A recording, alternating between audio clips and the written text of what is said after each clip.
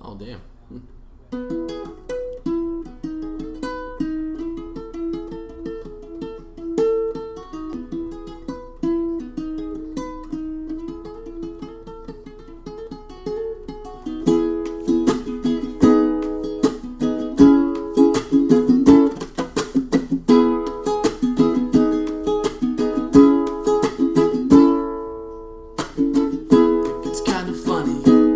To understand what my heart was trying to say.